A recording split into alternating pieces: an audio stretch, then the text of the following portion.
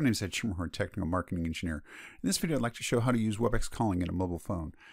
Some of the features we're going to show is how to receive a call, how to place a call, some mid-call handling, some additional features on how to use call pull. I'll be using an iPhone, but an Android works similarly. Here's what it looks like to receive a call within the app.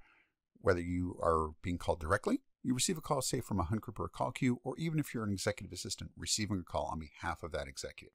It all looks the same. Placing a call within the app is very easy. The first way I'll show is with a keypad. You're going to press the blue icon in the lower right corner, then select keypad. Brings up the dial pad, and you can enter any digits that you wish, whether an internal extension or a public number. Another method of starting a call is if you have a chat open with a colleague, you can simply press the telephone icon at the top of the screen, select the number, and it places a call as well. Very simple, very intuitive. Now that we have an active call, let's take the first mid-call handling feature, placing a call on hold. We're going to press the More Features icon at the bottom of the screen, select Hold, and the far end will hear hold music. You can resume it by simply pressing the Resume button on the screen. With the active call, we could have also conferenced.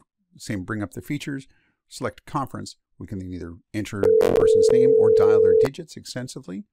That we connect to that first person, and then we select Merge the calls. You will see the video icon appear on the screen, but that is perfectly normal.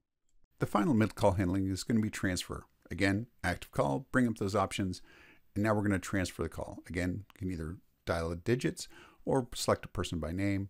This is a warm transfer. You'll be prompted to connect to the person, and then when you collect complete transfer, the call now drops from you.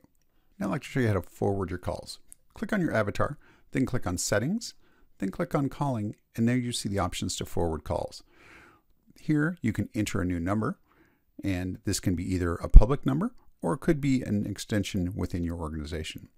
Then once you have it on your list, you can either select it or you could have even selected forward calls directly to voicemail.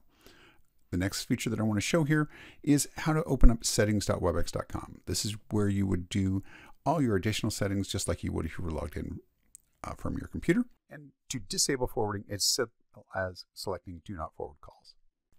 If you're a member of a call queue and you need to change your status, that can also be done from the calling page within settings within the app. You simply select call queue and then you can select which status you wish to have. Another powerful feature of the app is to be able to check your messages. You can see on the home screen that you have a number indicating you probably have messages. So if you open the app and then click on the calling tab on the bottom, you then can select voicemail from the top and here you see a visual representation of your messages.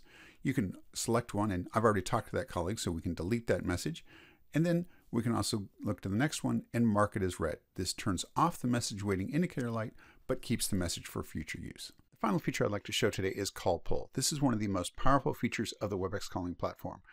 You have a call on your desk phone, you can open the app, select calling, the blue icon, and select call pull. This seamlessly moves the call with minimal disruption to the conversation from your desk phone to your app. You have all the same mid-call handling features. I hope this video has given you just a taste of all the power that the WebEx app on a mobile phone can bring to you.